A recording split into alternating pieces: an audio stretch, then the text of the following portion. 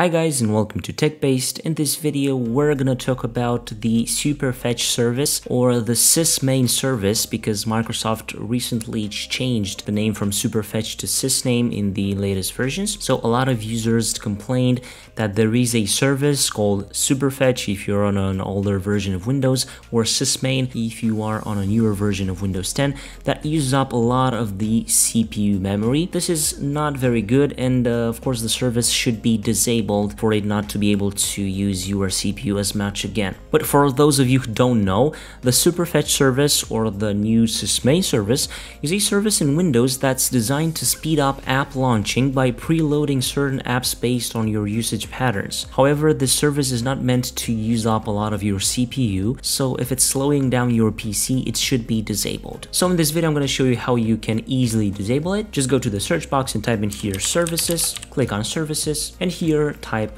S to go in the right side where you can find this service. So in my case, I'm on uh, I'm on a newer version of Windows 10, which is version 2004. In my case, the Superfetch service is called sysmain. If you're on an older version of Windows 10, the service will be called Superfetch. What you have to do, search for sysmain or Superfetch, double click on it. On startup type, select disabled, and then click on stop to stop the service. Once you selected the right startup type and you stop the service, click on apply and then click on OK. So after you restart your PC, the service should not appear in your task manager anymore. Computer resources should be used somewhere else where you need them. I'm really hoping that this video was useful.